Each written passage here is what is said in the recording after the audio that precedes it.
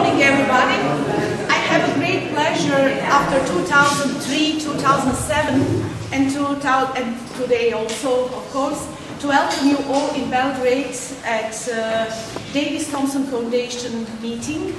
Uh, this time we have more than 90 participants and really outstanding great speakers. Thank you very much, Professor Michael Garner, for your coming today, and Professor Corrie Brown, which is in Aberdeen at the moment, in workshop.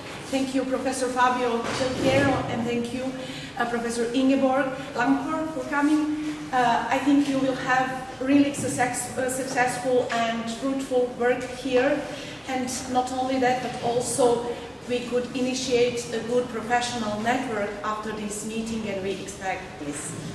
Thank you, dear Dr. Vladislava Ratz. She helps us very much, uh, also in previous meetings, but today as well. I think we can start with our lectures today uh, until 10 o'clock. This is the time for first coffee break. Professor Michael Garner, you.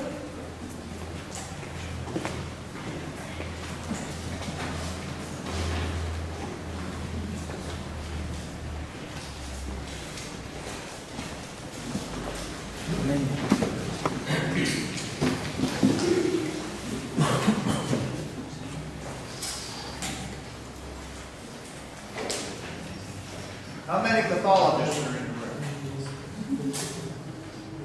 How many clinicians? And how many students? And students are students of pathology or just uh, veterinary medicine in general? Okay, all right. I, uh, I have a, a fair number of histology slides in these talks. And uh, because there's so many pathologists, I, I will I will emphasize them as we go along. But I also have uh, a lot of gross uh, gross pathology as well, which the students and the clinicians will appreciate.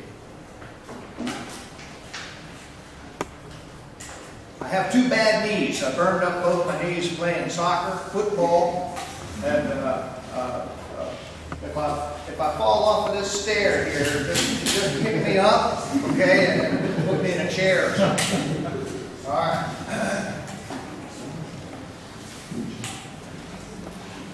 I uh, I I graduated from Washington State University in 1987. I practiced four years, uh, and I, I liked every minute of that, and it helped me be a better pathologist. Then I went to the University of Florida and got my pathology training, and then I started Northwest Zoopath in 1994. And uh, since that time, uh, let's see, we have acquired approximately 100 zoos and about 250 private clinics that do non-domestic species and uh, small pet mammals, uh, birds, reptiles, fish, etc. We now have in our archives approximately 200,000 cases of non-domestic species, which has become uh, a valuable resource for students and researchers that are interested in doing retrospective studies on disease in these, uh, uh, these species that have not been adequately studied. I started an extern uh, program in 1996, initially working with Latin American pathologists, but I expanded that and now work with uh, externs from other foreign countries that uh, have a, a, basic level of pathology training and would like to come and study with us for a month or two.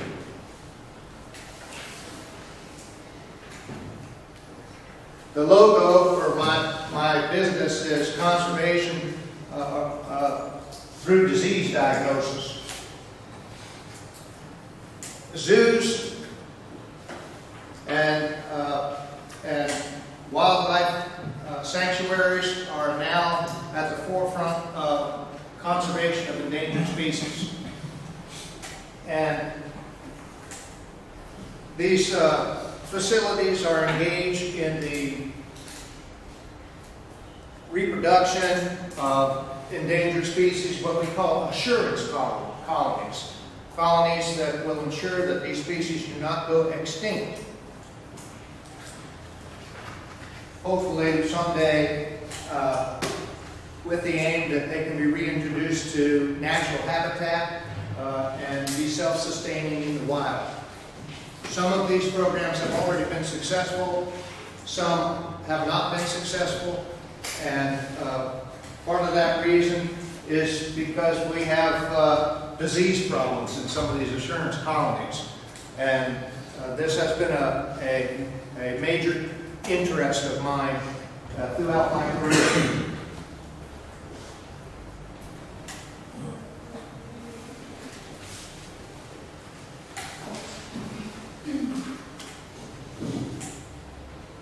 We have a large archive of non-domestic felids, and the emphasis of this talk is on uh, the retrospective study that we performed this year regarding the prevalence of neoplasia in the various species of felids that have been submitted to our facility from institutions in the United States.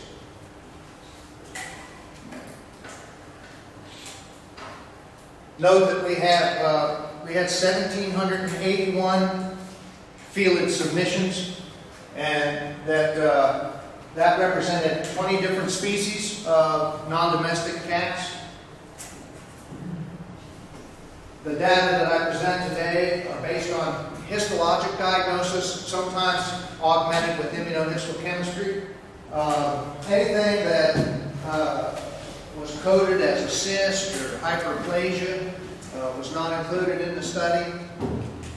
Those cases in which the same animal was submitted twice, either you know as a biopsy initially and as a necropsy thereafter, was included as only one case. The prevalence uh, at our facility of neoplasia in the cats that were submitted, granted this is a relative prevalence in a skewed population of animals, but prevalence was approximately 23%.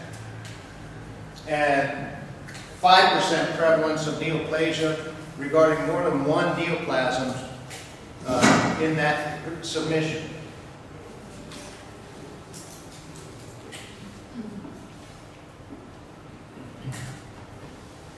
By species, uh, the highest prevalence of neoplasia was, was in the uh, lions, jaguars, cougars, lynx, and tiger.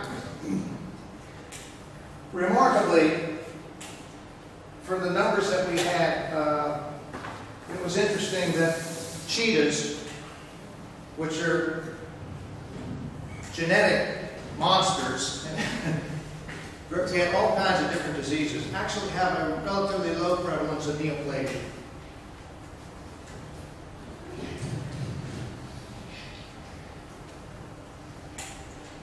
By system, endocrine systems uh, were most frequently represented for neoplastic processes, pretty much across the board in most of the species, followed by skin, and hematopoietic systems. Uh, the remaining systems below average. So now I will, I will uh, discuss the prevalence of these uh, neoplastic processes by species and with a few comments about the morphology of the lesions, uh, the gross and histologic appearance of the lesions. So uh, African lions uh, are considered vulnerable by the IUCN. Uh, and we had uh, 202 lions from 40 different facilities in, in, the, in the study.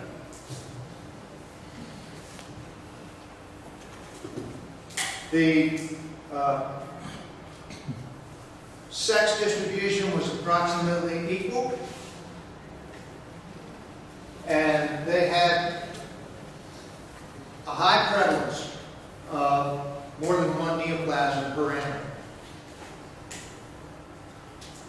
And the average age at the time of submission, 17 years. Lions can live up to approximately 30 years, but most of them start to fizzle out in their early 20s.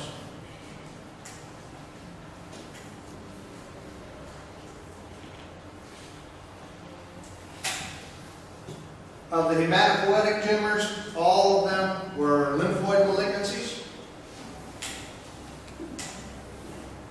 In the endocrine system, uh, interestingly, there were several adrenal cortical tumors, which is uncommon, generally speaking, in the feelies.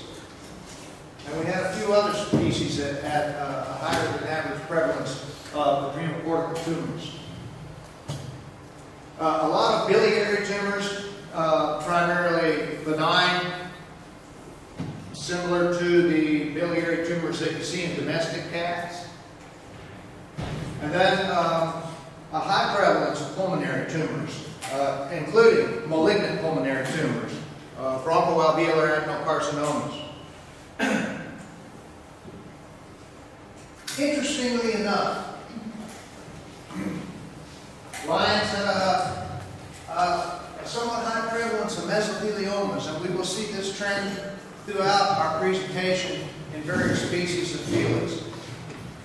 It appears that zoofelids have a high prevalence of mesothelioma, and the reason for this uh, predisposition I don't think is known. I, I, doubt very seriously that it has anything to do with asbestos, which is uh, the cause of mesotheliomas, uh, generally the cause of mesotheliomas in humans. Uh, skin tumors, they included benign basal cell tumors and lipomas, etc. Uh, pretty much uh, uninteresting. And uh, we did have uh, a fairly high prevalence in the lions of intestinal adenocarcinomas. The lions also had a high prevalence of soft tissue sarcomas in the skin. Uh, these, uh, these tumors were oftentimes not further characterized by probably fibrosarcomas, nerve sheath tumors, smooth muscle tumors, etc.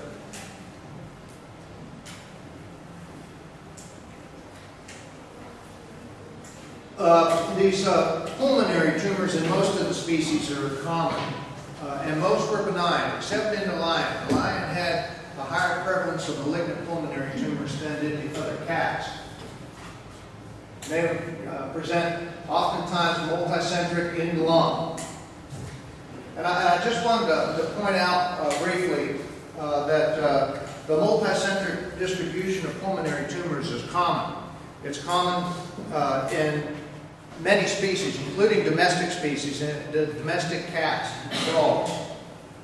And this can be problematic, especially for clinicians, because uh, what they do is take a radiograph uh, of the lungs when, the, when, an animal presents with a mammary tumor or some other tumor, and, and, and looking for metastatic lesions. And clinician sees these, this distribution of masses in the lung uh, thinking that these are metastatic foci of a mammary gland adenocarcinoma, and in fact, uh, they may just be benign bronchoalveolar adenomas, a tumor that can be multicentric within the lungs. Does everybody understand what I mean? Clinicians understand. That's important because uh, the next inclination is to put the animal down because it's got metastatic tumor. My recommendation in that regard is that you be conservative about the interpretation of masses that are in the lung. Wait till the animal gets sick before you put them down, because those might be benign lesions. Uh, the pulmonary, ad, uh, pulmonary bronchogenic uh, adenomas, uh, very well differentiated and generally follow the pattern of the uh, alveoli, whereas the malignant neoplasms Uh, uh, had less differentiation, did not have uh, alveolar uh, morphologic patterns, and were invasive.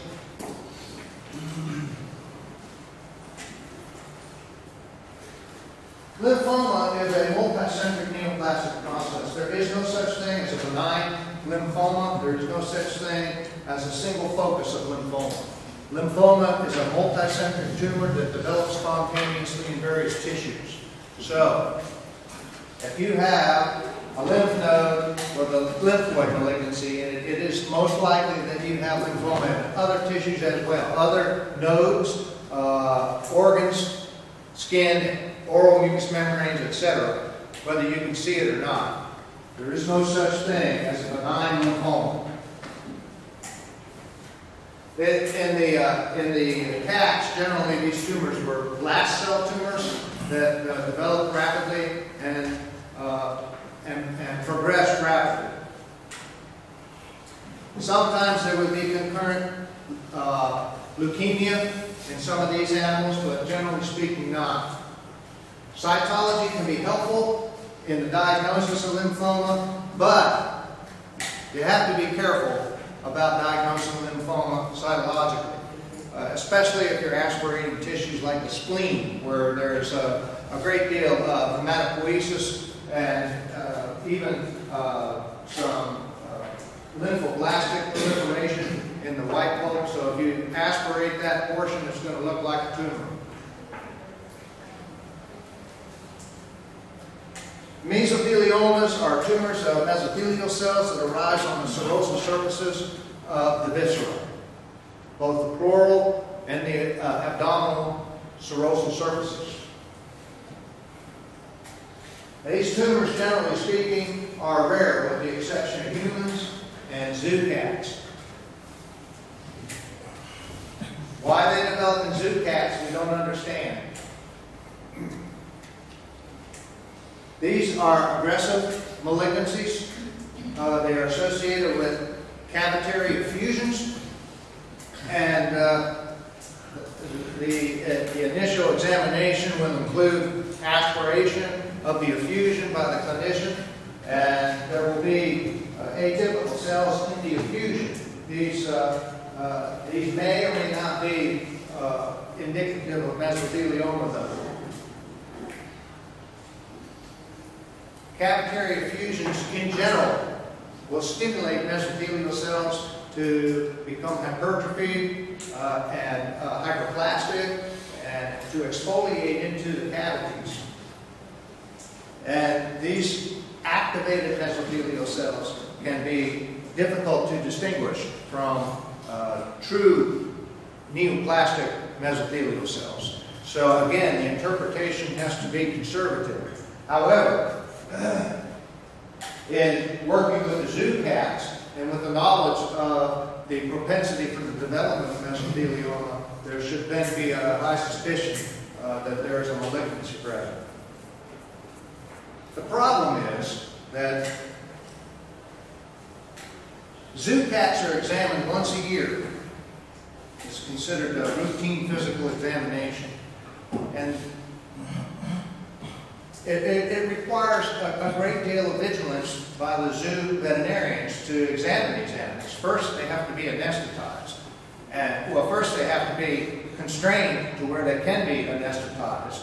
And, uh, and then they, they have to be uh, monitored while they're anesthetized and while they do all of the routine physical examination.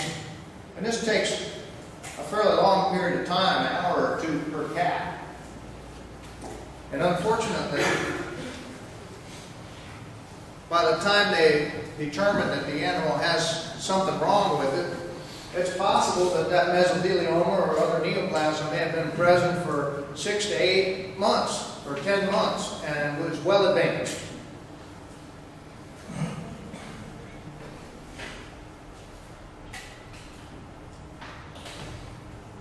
Uh, smooth muscle tumors leiomyoma and leiomyosarcoma. Uh, these, these generally are benign tumors uh, that occur in the reproductive tract of females. Uh, sometimes we get them in the intestinal tract or in the skin, probably arising from the rectopili muscles of the adnexa or blood vessels. Uh, most are benign. When they're in the reproductive tract, they can achieve large size and ulcerate, and the animals present with blood from the bowl. Uh, and this, of course, can be problematic and uh, something that can be visualized by keepers, uh, curators, or the veterinarians. Subsequently, uh, they are brought back in, and anesthetized, uh, and, uh, and, and surgical procedures are performed to determine where the blood's coming from. Usually the tumors are benign, so that's a good thing, and ovariohysterectomy is cured. However, large tumors can displace the viscera and, and can, and can cause uh, venous hypotension, hypotension as a result of uh, compression on the caudal vena cava. And these animals can uh, become hypotensive and, and actually can, uh, can develop uh, conduction abnormalities or not. What was that? Picture? Everything going okay out here? uh, you got the cameras on? And, all right. The malignant tumors, uh, leiomyosarcomas, generally are slow to metastasize, and that is also uh, uh, helpful to the veterinarians uh, because uh, uh, even the malignancies can be cured oftentimes by surgical excision. Soft tissue sarcomas in the skin and the peripheral connective tissues are pretty common in, in the lions. And even, even histologically, they can be difficult to distinguish uh, as far as the cell of origin. Um, when you, when, of course, they're going to aspirate these before they do anything else and, and see what they look like cytologically.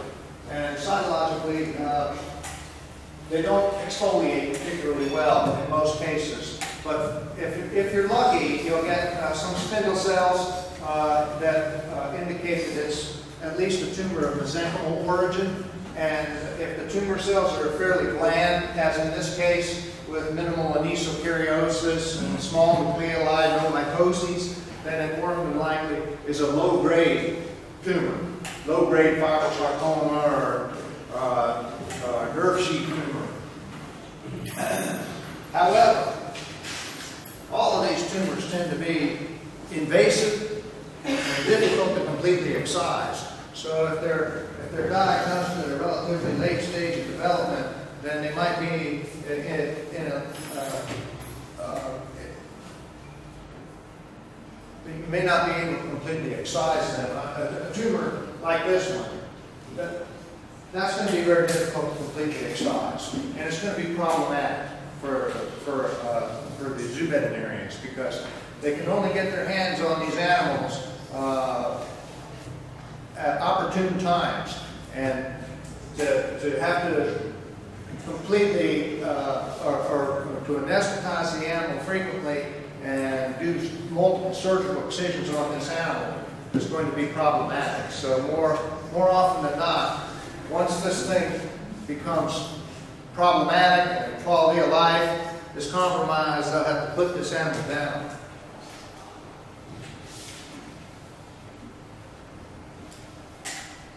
Cougars are uh, endemic to North and South America.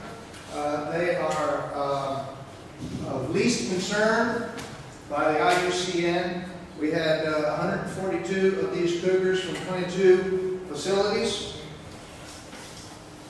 Interestingly enough, uh, yesterday, one of these cats killed a bicyclist uh, in Washington State, where I'm from. It was a skinny cat, and uh, probably uh, uh, did not adapt well in the wild to capturing its own food, and preyed on a uh, bicyclist. It was subsequently tracked down by dogs and killed, and now it's being examined to see if it had anything like, you know, rabies or, or some other problem that would have predis predisposed it to abnormal behavior. But the real reason why we're having problems with cougars is because our population is expanding into the, into the territory of the cougar. And, and subsequently there are conflicts between humans and cougars in, the, uh, in North America. So uh, the Cougars have a, uh, a, a, pretty even gender distribution as well. Um, higher than an average uh, number of animals that have more than one tumor. And uh, somewhat low average age for tumor development in general. Again, uh, the cougars have a higher prevalence of lymphoma, uh, very high prevalence of endocrine tumors. Tho- Those being uh, thyroid, parathyroid, and adrenal.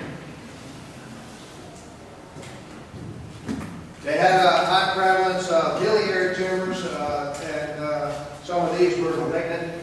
I might, I I might add at this point that uh, hepatocellular tumors uh, are uh, uncommon in zoofelids. And they're, they're fairly uncommon in captive, uh, I mean, in domestic cats as well. Primarily biliary tumors in the zoofelids rather than hepatocellular tumors. And then uh, we had uh, five cases of uh, mammary gland malignancies uh, in the uh, in the cougars. Uh, we, it, many of the different species have uh, mammary tumors. Why do you think we might have a, a high prevalence of mammary neoplasia in the zoofelids?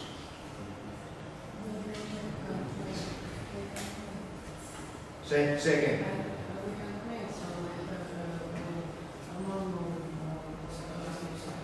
They can't mate, so they have persistent hormonal stimulation and an abnormal estrous cycle. Uh, that's probably one reason. Any other? Use of hormones. Sorry? Use of hormones Use of hormones for what? for suppressing the estrus. Contraception, right? Yeah. Yes, we usually use one uh, called esterol acetate that uh, resulted in a high prevalence of uh, mammary gland malignancies. We use a different one now, lupronide, that uh, uh, that is uh, that is better or appears to be better. Uh, we'll see. Time will tell. But for now, the, the, contraceptive that was being used, it was a it was a in, intermittent contraceptive so that we could withdraw it and breed these animals at a later date when the stud book indicated that it was optimal for breeding. Sorry. Yes? Have you seen uh, cases of mammary fibroepithelial hyperplasia, the same condition in the cats? You know, that's. Um, have you seen that? Uh, one more time. Uh, Have you seen the uh, the condition that is, you know, relatively common in cats, uh, mammary fibroepithelial fibroepithelial hyperplasia uh, in the domestic cat? Yeah. Yes, we, we did, we did see this. You know, there, there was a, Ovaban was the name of the drug that would do it in the domestic cat. And we do see this from time to time in the non-domestic species. I didn't include them in the study because it's a hyperplastic change. Uh, interestingly enough, uh, it, a lot of the mammary malignancies that we would see in the domestic, in, in the zoofelids would be associated with concurrent mammary gland lobular hyperplasia, which is a little different than fibroepithelial hyperplasia. Uh, but uh, there would be uh, hyperplasia juxtaposed with areas of, of neoplasia, uh, which is also common in domestic species, dogs, and you know would suggest that there was hormonal stimulation that was that was contributing to the development of hyperplasia and eventual uh, transformation to neoplasia.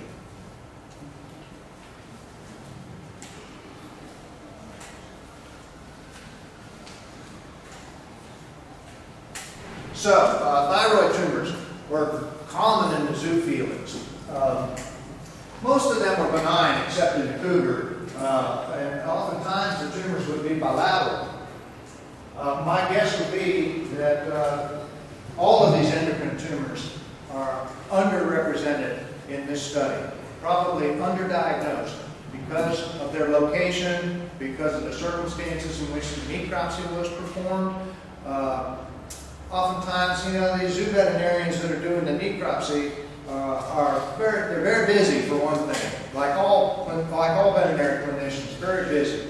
And the, the necropsies wait until the evening time. Uh, these are big animals, sometimes they're obese, and it's difficult to find the endocrine tissues. Uh, the thyroids, the, the adrenals, uh, pancreas, these things can sometimes be difficult to identify and uh, subsequently are not collected. So I think that there are times when these, uh, these animals have these neoplastic processes, uh, but they are missed during the necropsy procedure and thus don't get documented. Because endocrine tumors are notorious for paraneoplastic syndromes, in other words, uh, functional neoplasms that cause uh, endocrine or metabolic derangement. I think that it is likely that paraneoplastic syndromes in these zoofelids are also underdiagnosed because the animals are only being examined once a year. And it is difficult to determine, you know, without blood work and urinalysis, uh, if, if there are paraneoplastic syndromes occurring in these animals.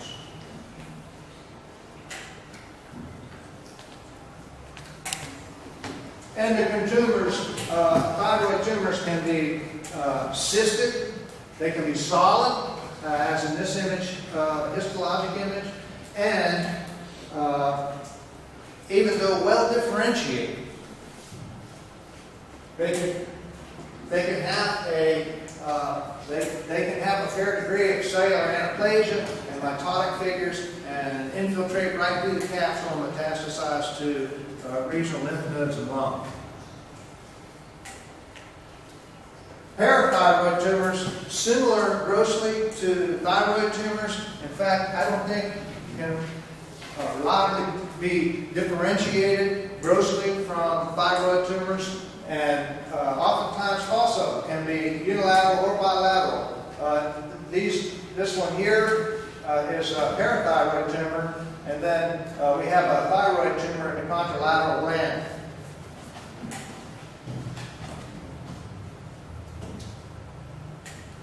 As with domestic cats, uh, actual neoplastic parathyroid tissue or thyroid tissue can be difficult to distinguish from hyperplastic tissue.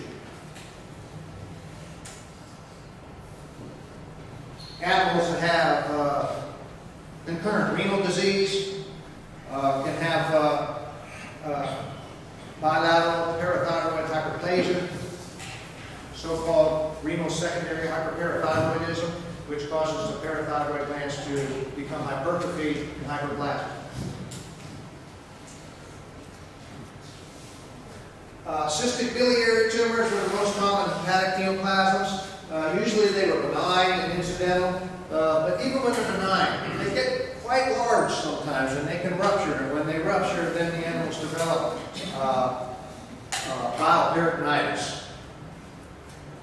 The malignant tumors, malignant biliary tumors are aggressive malignancies that invade the hepatic parenchyma uh, get into the va uh, vascular system and metastasize. They can also be associated with carcinomatosis, uh, the development of neoplastic cells on the serosal surfaces of the viscera.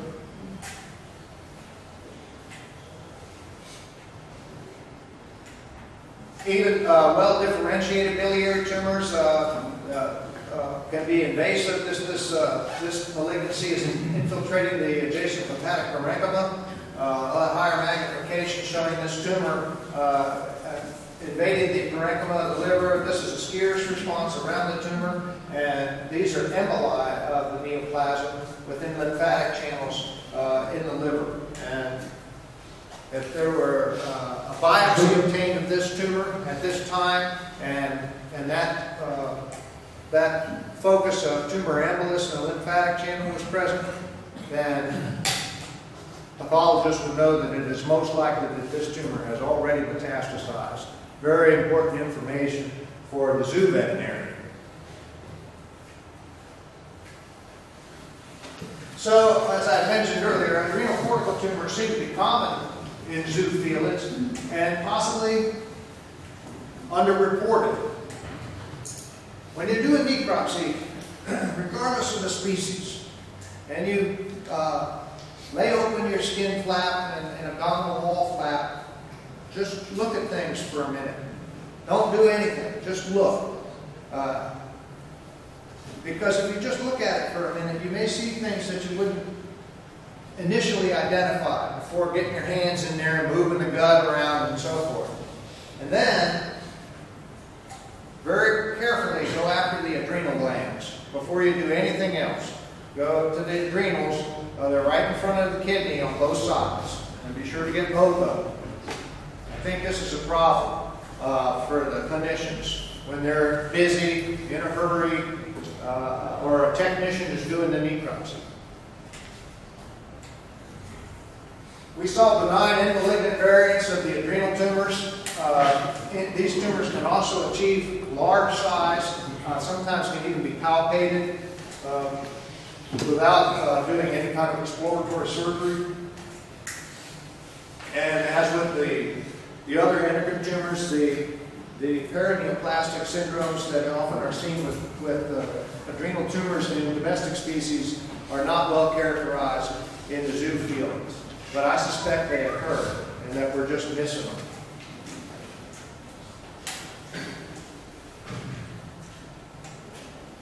Tigers are the largest of the zoo cats, and there are two subspecies. Uh, is, their, their designations have been very confusing throughout the decades as to which subspecies there are. But now they have the, they have uh, combined the two subspecies, the island subspecies and the, uh, and the mainland subspecies. Uh, Tigris tigris and Tigris sondaica. Regardless of the subspecies, they are all endangered or critically endangered cats. So we had a lot of them. 78 submitting facilities uh, on the tigers.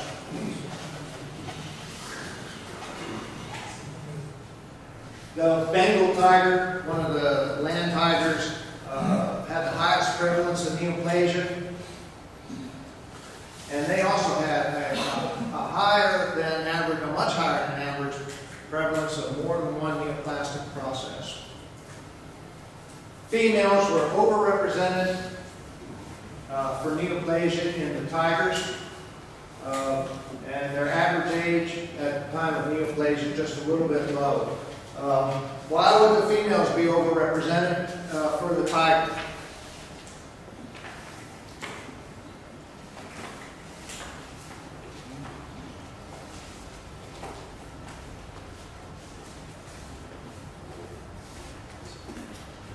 What we talked about earlier.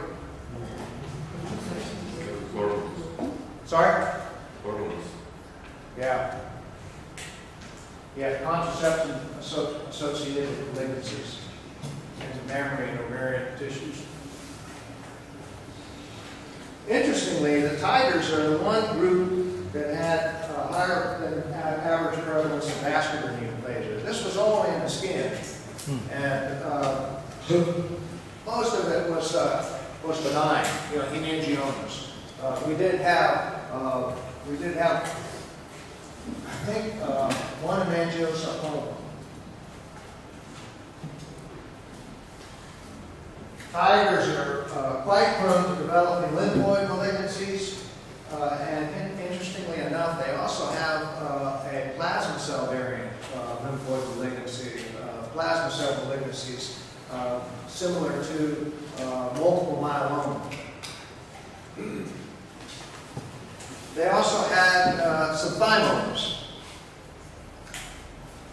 something we did not see much of in the other cats. And, and as with the other cats, uh, uh, high prevalence of endocrine tumors, the tigers had islet cell tumors that we did not see in the other cats.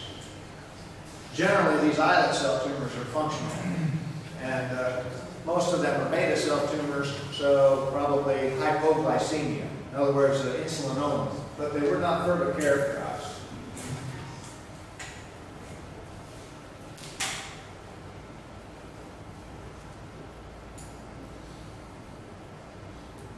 Higher, high prevalence of mammary gland malignancies, uterine adenocarcinomas in the tigers. That's what skewed the uh, gender uh, predisposition in, the, in these cats. They also had a, a high prevalence of soft tissue sarcomas, similar to the lions. The islet cell tumors uh, could be benign. Uh, when they're benign, they're usually encapsulated, and there's a distinct demarcation between the neoplastic process and, and the adjacent pancreatic parenchyma. Uh, the malignant tumors uh, readily uh, invade the adjacent pancreatic parenchyma and metastasize to regional lymph nodes. Regardless of their benign or malignant behavior, islet cell tumors are generally well differentiated malignancies. Um, and uh, the islet cells have little cellular anaplasia. And the soft tissue sarcomas that we saw in these cats, uh, uh, typical fibrosarcomas and vascular neoplasms, the, the hemangiosarcoma in the, uh, in the zoofelids is similar to the hemangiosarcomas that occur in the domestic cat. Uh, uh, in other words, they are uh, clearly malignant, uh, oftentimes involve the skin, uh, but are slower to metastasize than, say, the hemangiosarcomas that we see in the domestic dogs or in the wolves or other non-domestic canines. Uh, they are not these aggressive anaplastic malignancies that develop in the spleen, uh, base of the heart. Uh, they do not uh, uh, metastasize to distant sites readily.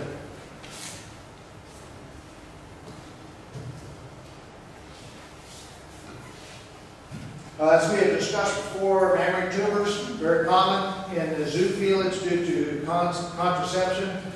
Uh, Their behavior, regardless of whether the uh, tumor was associated with contraceptives or just occurred spontaneously in an older cat, was similar. Uh, They are aggressive malignancies.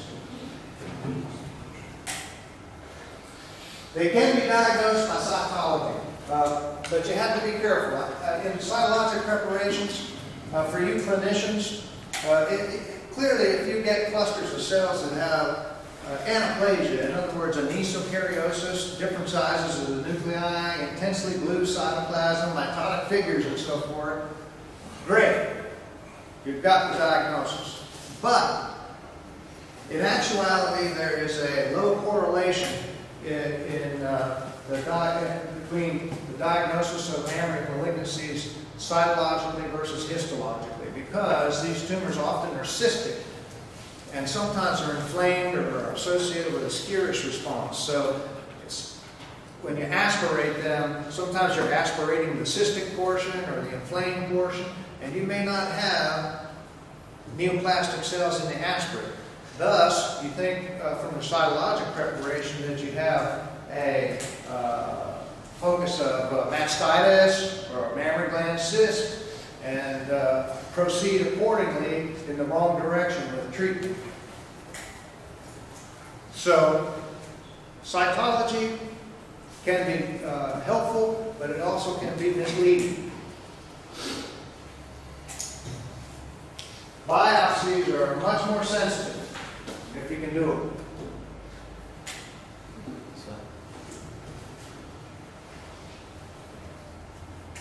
Uh, this is one, this is one of these mammary gland adenocarcinomas in one of these cats. Uh, this is the tumor. Uh, this is a well differentiated tumor in this case. However, even though it was well differentiated, this tumor had metastasized to the liver. So we'll move on to the leopard. There are several different uh, subspecies of the leopard, all of which are considered vulnerable. We had a large number of these cats submitted from a large number of submitting facilities, uh, and they had an average prevalence of tumors based on the overall study. The, the two subspecies with uh, the most interesting neoplastic presentations were the snow leopards and the clouded leopards. The clouded leopards have have an especially high prevalence of tumors. And uh, we had uh, a particularly high prevalence of uh, uh, more than one tumor in these cats. Interestingly, we had two meningiomas in the leopards. We can see this. uh, I think we had one meningioma someplace else, but the leopards in general, we had two meningiomas, which are not common, you know, in, uh, in, in mammals. Uh, Prevalence of lymphomas to be expected, uh, high prevalence of endocrine neoplasia. We had more pheochromocytomas uh, in, in the leopards than we did in the other species. These are, this is the tumors of the, uh, of the endocrine, of the uh, medullary portion of the adrenal gland. Uh, a lot of parathyroid tumors and a lot of uh, thyroid tumors in these animals.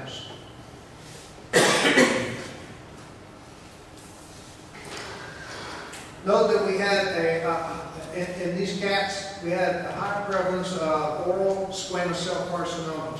And this is all in the snow leopard, and I'll talk about that in a minute.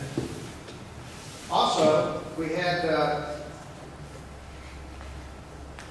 some testicular tumors in the leopards that we didn't see in the other cats. And then in the skin, squamous cell carcinomas again, and this is all in the snow leopard. And then uh, a high prevalence again in the leopards for mesotheliomas.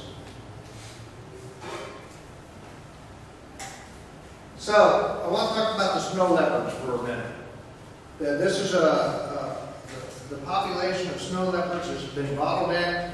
There's not a lot of genetic diversity. There is a stud book, an international stud book, uh, that is being used to optimize genetic diversity in the breeding of the snow leopard. However, we see a lot of different odd developmental anomalies and, um, and neoplastic processes, infectious processes in the snow leopard that would be considered opportunistic in other species. But the snow leopard has a very high prevalence of viral papillomas caused by papillomavirus, uh, primarily involving the, the tongue, but also involving the skin. And although we see papillomas in other zoofelids, especially in the mouth, uh, they usually will spontaneously regress like they do in other species. However, in the snow leopard, uh, these, these, uh, these lesions appear to have some potential for transformation to squamous cell carcinoma. And that's why we see this high prevalence of squamous cell carcinoma in the oral cavity of snow leopards and in the skin of snow leopards, and, then- and subsequently the skewed population of squamous cell carcinoma in the leopard group.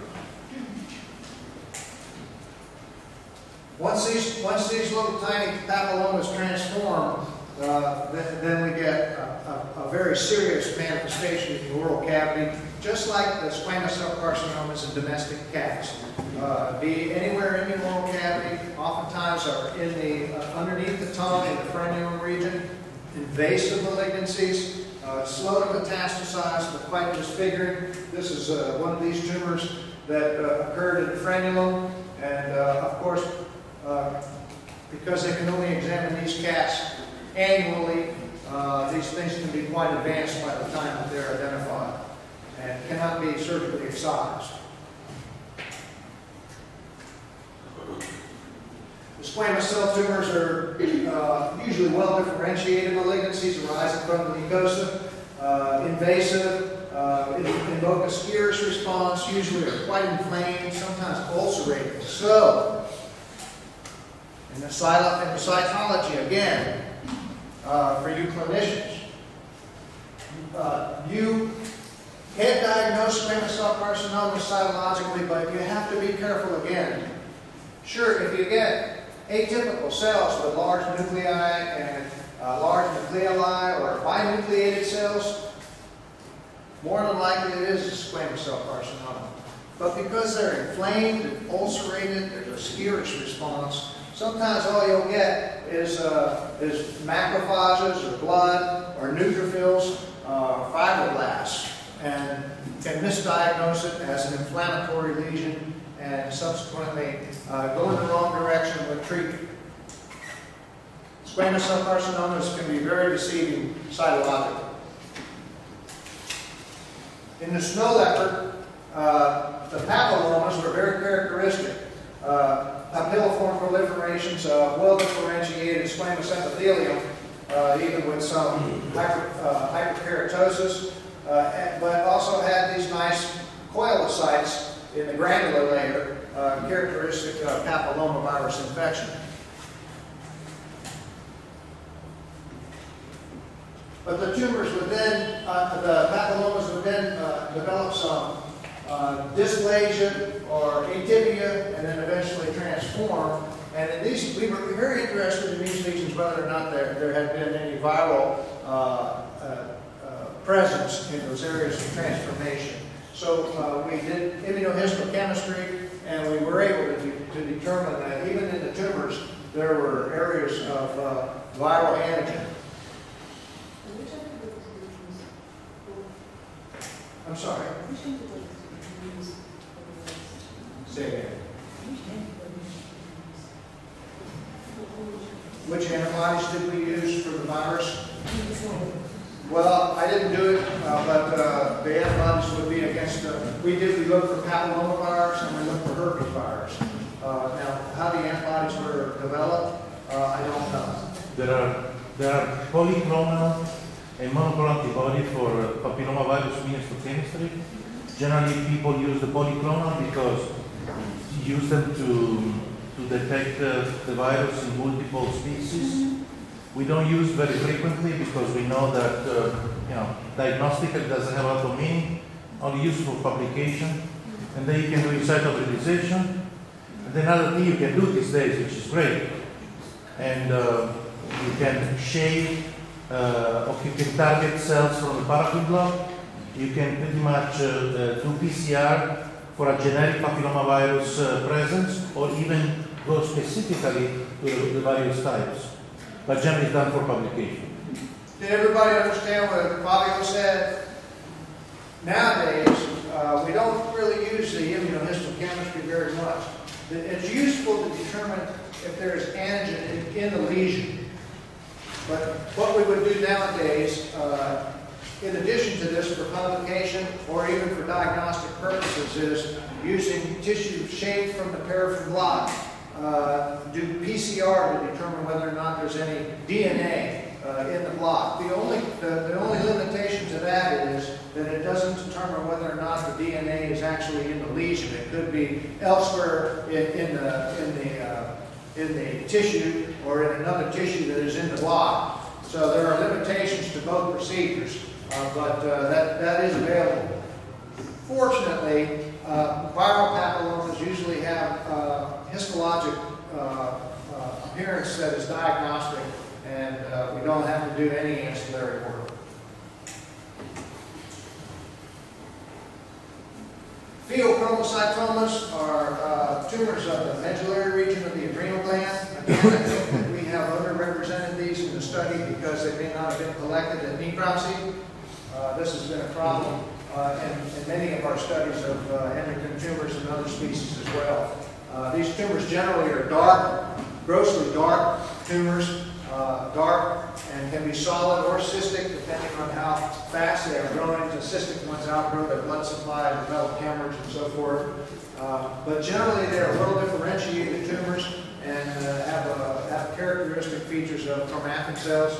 They are uh, uh, heavily granulated cytoplasm, and in this particular case, the tumor uh, is infiltrating the cortex here, uh, characteristic of uh, uh, malignancy, but we actually did not see metastatic uh, foci. Uh, Seminomas are uh, uh, generally low-grade malignancies. They, the uh, tumors can be diagnosed cytologically. Uh, Again, I have some, uh, some uh, comments regarding the cyto- cytologic diagnosis of seminoma. They're round cell tumors, just like lymphoid malignancies. And the distinct, and distinguishing them from a lymphoid malignancy cytologically can be problematic. Of course, if you're aspirating a, uh, a swollen testicle and, and you have uh, these cells, uh, these, uh, these round cells that have a, uh, a, uh, a high nuclear to cytoplasmic ratio, in other words, a large nuclei with scant cytoplasm, and um, mitotic figures are present and so forth, then you know it's a seminoma. However, if that seminoma is metastasized to the sublumbar lymph node and you're aspirating the lymph node, uh, you, you might mistake this for a lymphoid malignancy. Uh, histologically, we have no troubles with seminomas. They're well differentiated tumors. They usually uh, recapitulate the morphologic features of the seminiferous tubule.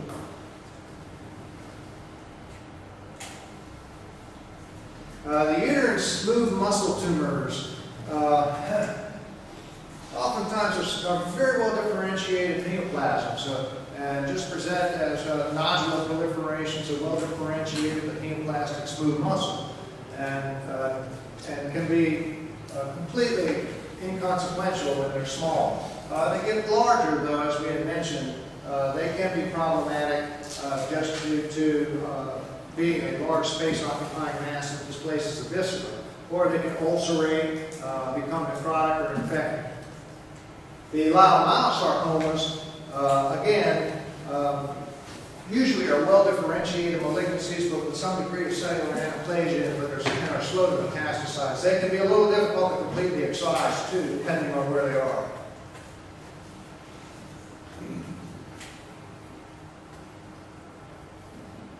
Well, this tumor, uh, wedged here between the uh, rostral aspect of the midbrain uh, and compressing the, uh, the uh, cerebral cortex, is going to be problematic because, uh, you know, this cat's going to have central nervous system signs. Well-differentiated uh, tumors, uh, spindle cells that form what's called the nemophiliomatous whorls, and uh, generally non-invasive. These, these actually, in domestic species, haven't been successfully removed surgically. It's going to be a problem, though, in, a zoo cat, and they would be put down.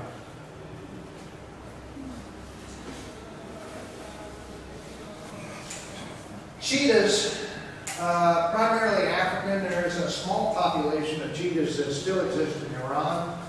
Uh, They are considered vulnerable, but they did go through a bottleneck and have uh, some problems with genetic diversity. So the stud book, uh, the International Stud Book is very careful about how these animals are bred in order to optimize genetic diversity. We have a lot of cheetahs uh, from several facilities. Uh, They have a a high prevalence, or rather, uh, uh, uh, a lower than average prevalence of neoplasia, and uh, uh, a lower than average uh, occurrence of more than one neoplasm in- in, uh, per cat. Average age at the diagnosis was 10 years. Um, That's a little bit low as well for the, for the lifespan of the cheetahs, uh, but the gender distribution was, uh, was approximately equal. They have their own set of tumors, cheetahs. In addition to the usual endocrine tumors, uh, cheetahs develop myelolipomas. This is a tumor of adipose tissue and hematopoietic elements. Generally, the hematopoietic elements are represented all cell lines and with orderly maturation. These tumors are multicentric in the spleen. And occasionally we'll see some in the liver or in the adrenal gland. But generally, it is a splenic neoplasm in the cheetah. And they are exceptionally common, uh, recognized early uh, in, the, uh, in the pathology world and in uh, the examination of cheetahs from zoos. And they're important because of, the, because of their gross presentation. Cheetahs also had the mast cell tumors. Mast cell neoplasia was otherwise uncommon in the zoofelids, uh, but the cheetahs get them. And these are well-differentiated mast cell tumors that are identical to those mast cell tumors that we see in the domestic cat, also in the uh, domestic ferret.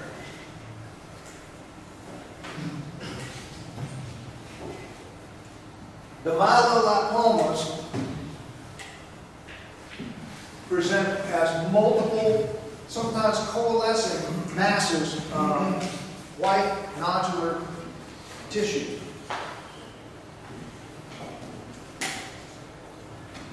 The presence of cut surface. And the histologic appearance. Well differentiated adipocytes or fat cells and uh, clusters of hematopoietic tissue representing all cell types. Completely benign in the cheetah, even though they're multicentric in the spleen. However, if you're not familiar with the clinical, with a gross presentation of these myelolipomas, then uh, at necropsy, You open them up and you see a spleen like that, and you're thinking either malignancy or some form of severe granulomatous disease, such as uh, tuberculosis, mycobacteriosis, or a fungal infection. When in fact, that's completely benign for these cats. The mast cell tumors in, the, in these cats present just like they do in um, domestic cats. Solitary or multicentric in the skin, slightly raised, smooth plaques, usually hairless, and uh, minimally invasive. Uh, some pathologists feel that these mast cell tumors are benign, uh, and some pathologists, like myself, feel that they are malignancies uh, that are slow to involve internal viscera or regional lymph nodes. Generally, uh, they're round, uh, slightly ovoid sometimes, have a very faint cytoplasmic granularity, unlike uh, domestic dogs, which generally have prominent cytoplasmic granules. And uh, uh, generally, they have a low degree of cellular anaplasia, uh, mild anisokaryosis, small nucleoli, uh, very low mitotic index. Uh, sometimes will uh, recruit eosinophils, uh, just like the other uh, species with mast cell neoplasia. Histologically, uh, a slightly raised plaque-like appearance of the tumors, very similar to the domestic cat, and, and again,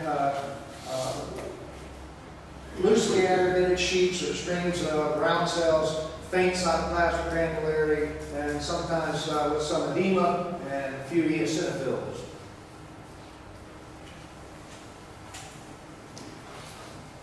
Jaguars are indigenous to the uh, South American countries, Mexico, and a small population exists uh, in uh, the southwestern United States.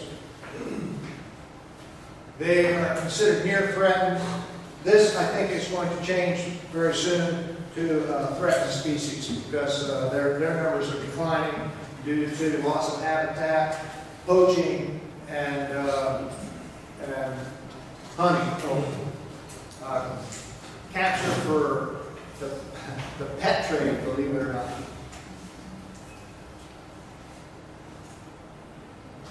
So that these cats have uh, a higher than average prevalence of neoplasia uh, and uh,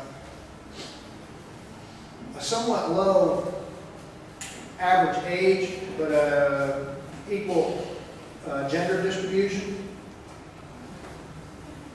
There were parathyroid tumors predominantly, uh, and, you know, another cat with endocrine tumors. Uh, mammary tumors overrepresented, ovarian tumors overrepresented in these cats. Again, this, this is all because primarily uh, contraception. We also have mesothelioma in one of these cats. The ovarian tumors developed in the post-reproductive cats, uh, and, good, and some of them are bilateral.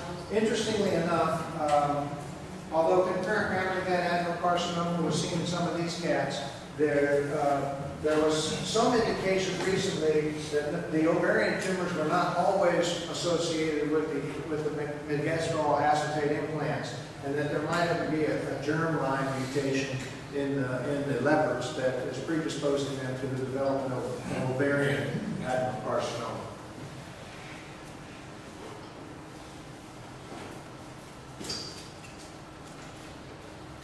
The bobcat uh, is, a, another North American species. Uh, they are least concern, but their population numbers are declining as well due to loss of habitat and hunting. Uh, they had a higher than average prevalence of neoplasia, and it was mostly in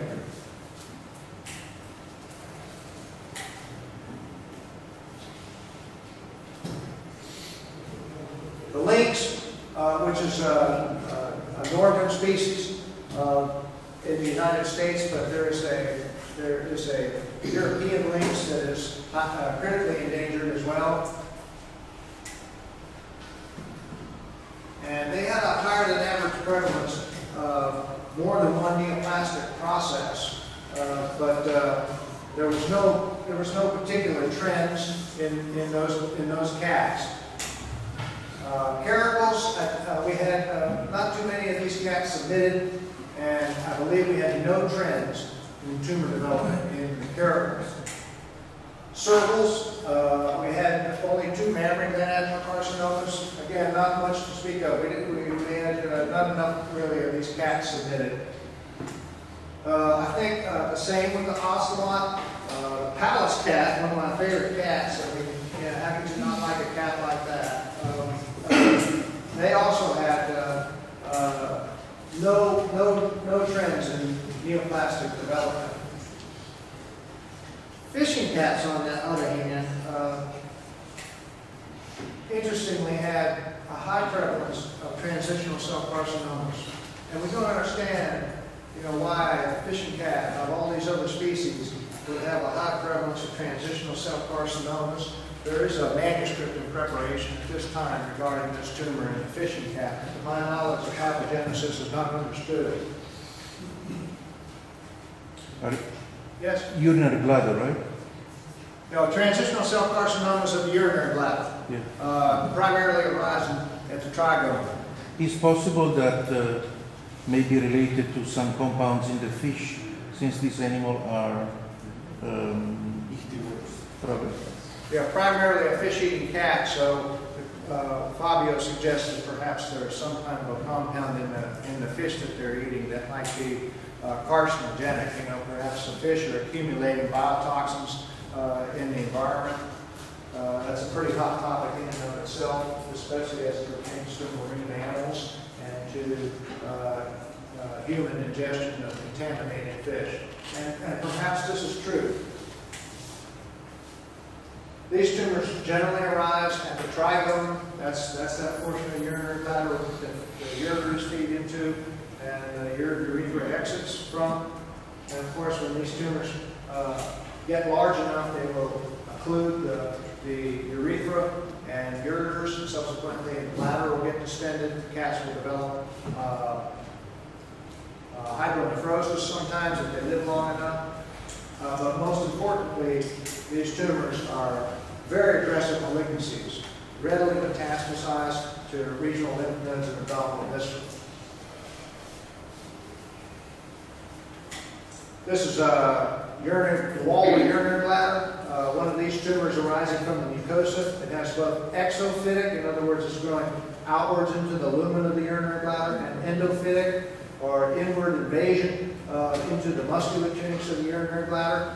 Uh, and uh, these tumors readily get into the lymphatic system and metastasize. This just a higher magnification of the, neoplastic process in the.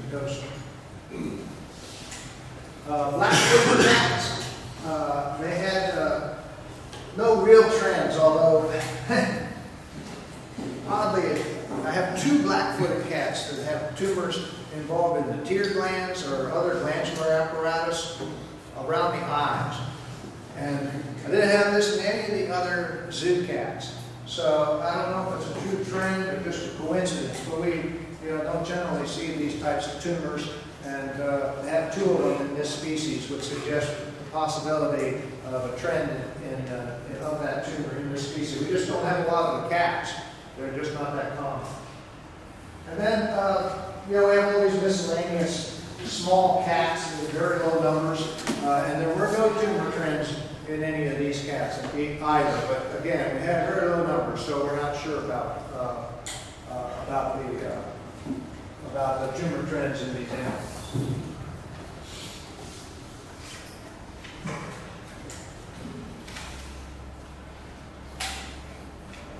And that is it for the for the felid tumors.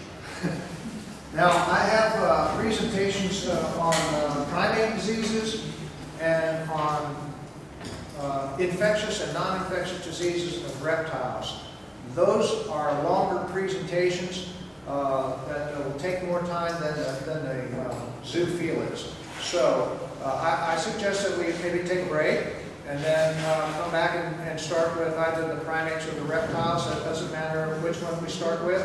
Does that sound like a good plan? Are, are there, first off, are there any uh, questions regarding the cats? We do have some questions regarding the cats. Uh, Dr. Gannon, Yes. Um, have, I have, you know, I did a PhD in mammary tumors, that's why I have interest in mammary tumors. Uh, were any of these mammary tumors of uh, a particular histological subtype? That, Well- well, the only, the only manuscript that really talks about uh, the subtype morphology is a manuscript that compares